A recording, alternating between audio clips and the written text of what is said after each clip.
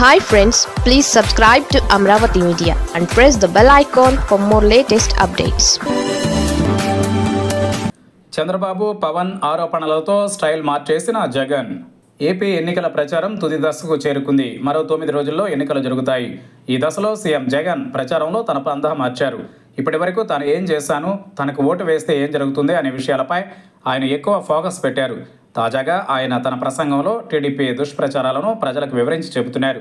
పొరపాటున కూడా వారి మాటలు నమ్మొద్దని చంద్రబాబు మాయలో పడొద్దని ప్రజలకు సూచిస్తున్నారు జగన్. ప్రస్తుతం టీడీపీ ఎల్లో మీడియా బలంగా హైలైట్ చేస్తోన్న పాయింట్ ల్యాండ్ టైటిలింగ్ యాక్ట్.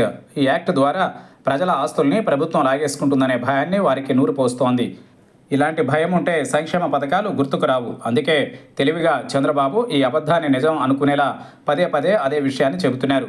తాను అధికారంలోకి వస్తే రెండవ సంతకం ల్యాండ్ టైటిలింగ్ యాక్ట్ రద్దు అనే ఫైల్పై పెడతానని అంటున్నారు. పవన్ కళ్యాణ్ కూడా తన ప్రసంగాలలో పదే పదే ల్యాండ్ గ్రాబింగ్ యాక్ట్ అంటూ ఆరోపిస్తున్నారు. ఈ దుష్ప్రచారాన్ని వైసీపీ నేతలు ఖండిస్తున్నా జనంలో కొన్ని అపోహలు ఉన్నాయి అందుకే సీఎం జగన్ నేరుగా రంగంలోకి దిగారు. తన పర్యటనల్లో ఆ తప్పుడు ప్రచారాన్ని ఖండించడానికి ఎక్కువ సమయం కేటాయిస్తున్నారు. తన సంక్షేమ పథకాల గురించి వివరిస్తూనే చంద్రబాబు దుష్ప్రచారాలను ఖండిస్తున్నారు జగన్. తనకు భూములు ఇవ్వడమే తెలుసునని లాక్కోవడం తెలియదని అంటున్నారు సీఎం జగన్. హిందూపురంలో జరిగిన మీటింగ్లో ల్యాండ్ టైటిలింగ్ యాక్ట్ గురించి వివరించారు. దాని ద్వారా ఎవరికీ హాని జరగదన్నారు జగన్. ప్రజలకు మేలు జరిగే నిర్ణయాలు తీసుకున్నా కూడా తమపై బురద జల్లుతున్నారని ప్రజల్ని తప్పుదోవ పట్టిస్తున్నారని చంద్రబాబుపై ధ్వజమెత్తారు.